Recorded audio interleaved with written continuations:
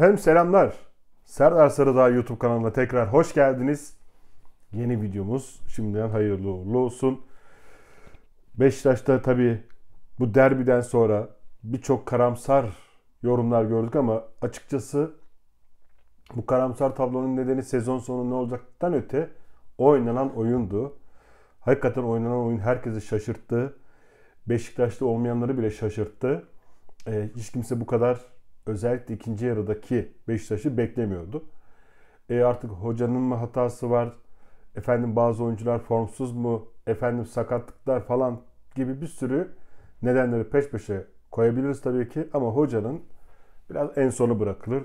Çünkü hoca daha dün geldi diyebileceğiniz bir durumda şu an arkadaşlar. Takımı antrenmanlarda tanımak başka bir şey ama maçlarda tanımak çok daha başka bir şey. O nedenle Galatasaray derbisinin hayırlı tarafı da olduğunu söyleyelim. Ee, artık hani hocanın kafasındaki soru işaretleri burada biraz daha netleşti. Önünde Serik maçı ve Antalya Spor maçı var. Ondan sonra zaten o hazırlayacağı raporun kapağını da hazırlamış olur. Raporun içerisinde ne var ne yok zaten 3 aşağı 5 yukarı belli. Fakat ben de dün takım içerisindeki gruplaşmalardan bahsettim ama şahıslara ihale kesilmek e, kesmek çok doğru değil. Yani falanca oyuncu, filanca oyuncu, şu oyuncu, bu oyuncu ama sıkıntı var mı? Var. Gruplaşmalardan öte, ayrı ayrı takımlardan öte efendim işte Fransızca konuşan e, oyunculara biraz takılıyor. Onlar niye böyle oynuyor? Onun sebebine bakmak lazım arkadaşlar. Çünkü işlerinde mesela ben Rozier'in biliyorsunuz ki Beşiktaş'ın çocuğuyum diyerek geldiğini biliyoruz hepimiz. O nedenle Rozier'in saf bir tarafının olduğunu kabul edelim. Ee, onu yönlendirebilirsin doğruya doğru. Ama diğerler için bir şey diyemiyorum. Ee, o başka.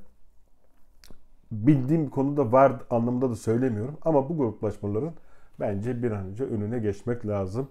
Burada eğer fatura kesecek adam ararsanız gene yanlışa girersiniz. Burada çözümün peşinden gideceksiniz. Yani burada taraftar bana şu tepki göstermişsin, ihale buna kalırsın, şunu olsun, bu olsun. Sakın. Bak en büyük yanlış bu olur. Çözüm ortak akılla ve ortak fikirle üretilir. Yani bu işte birileri fatura kesmek demek sorunları halının altına süpürmek demek arkadaşlar.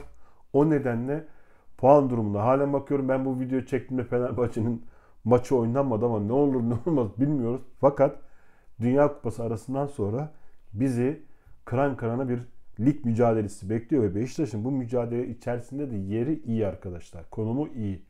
Çok da vay vay deyip iki elin başımızı iki elinin arasına almaya gerek yok. Almanıza gerek yok. O nedenle çözümün üzerine odaklanırsanız elbette ki çıkış yolunu daha çabuk bulursunuz. Çözüm basit. Oraya bir tane Sosa, bir tane Oğuzhan, bir tane Atiba. Şimdi bakılacak. Efendime söyleyeyim. Ben Delali'yi Ziraat Türkiye Kupası'nda bekliyorum.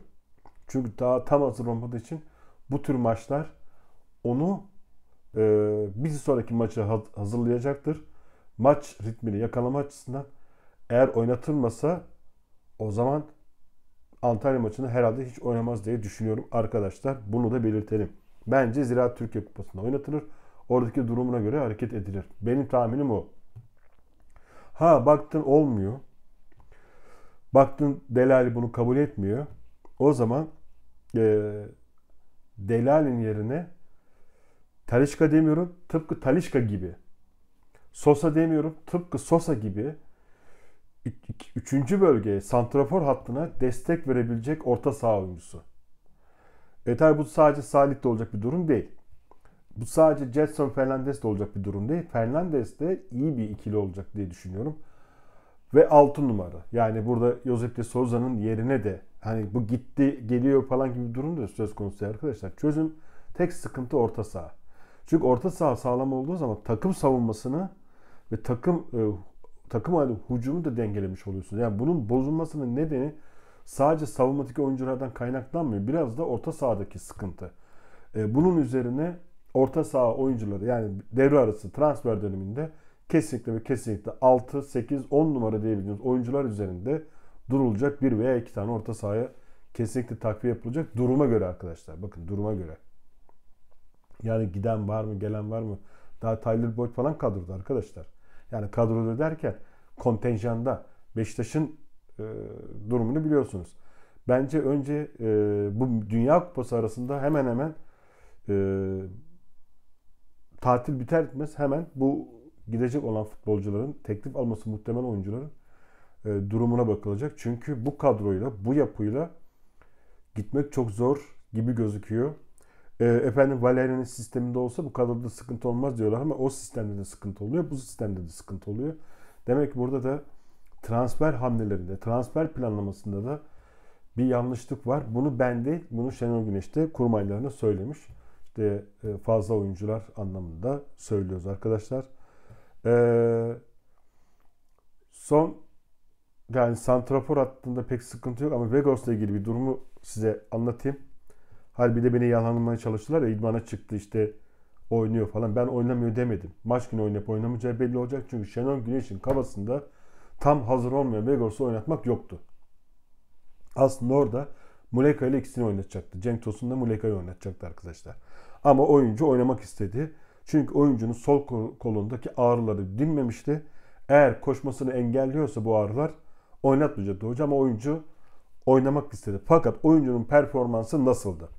Evet biraz ee, pas bağlantıları yoktu. Biraz pas sıkıntısı yoktu ama Hollanda basını da arkadaşlar Vegors'la ilgili olumlu yorumlar yazmadı. Yani ben kendimi geçtim. Hollanda basını yazmadı. Yani Türk medyasını da geçtim. Ben bunun biraz da sadece taktiksel değil, kendisinin daha tam hazır olmadan oynadığı için olduğunu düşünüyorum arkadaşlar. Bakın kendisinin daha tam hazır olmadan e, oynadığı için olduğunu düşünüyorum. Onun da etkisi mutlaka var. E, o sıkıntının e, birkaç gün içerisinde gideceğini düşünüyorum. Çünkü sakatlığı öyle uzun sürebilecek bir sakatlık değildi.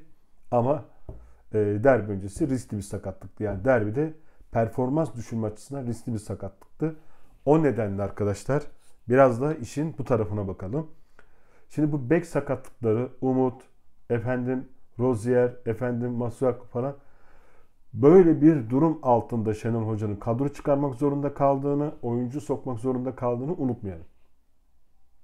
Yani derbiyi konuşuyoruz ama fişi çekmeyin. Yani sağda Necip oldu. Yapacak bir şey yok. Belki ortada değerlendirecekti. O yüzden derbiye bakıp da sezonu pişini falan sakın çekmeyin. Yani ileride daha farklı şeyler de olabilir. Ama doğru karar bakın. Doğru akılla. Ortak akılla. Suçlu arama, aramak yerine doğru planlama. Bu iş e, bu işten çıkış yolu bulunur. Onu da belirtelim. Talişka sesleri çok geliyor. Yine herkes Talişka'yı yazıyor. Arkadaşlar ben duymadım ama Şenol Güneş emin olun yönetim Talişka'yı getirebiliyorsa asla hayır demez. Bakın asla hayır demez. Getirebilecek durumda mı ben bilmiyorum. Ben Talişka'nın zannetmiyorum. Ama Şenol Hoca ile çalışmaktan zevk aldığını biliyorum. Ee, Birçok eski oyuncusu hocanın gelişini biliyorsunuz ki Beşiktaş'ta ki yeni dönemini de sosyal medyasında e, tweetle kutladı. Hayırlı uğurlu olsun dercesine.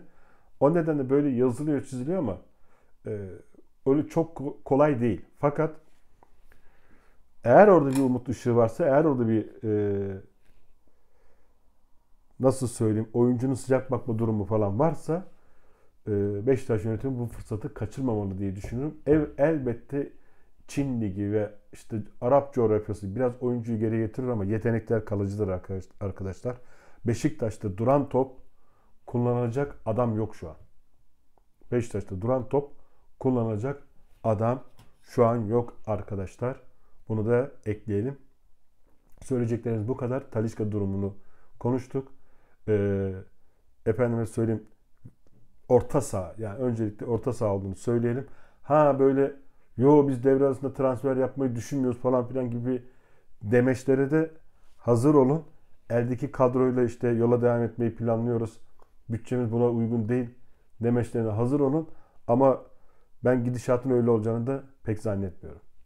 Efendim hepinize sağlık dolu günler diliyorum. Hayırlı akşamlar.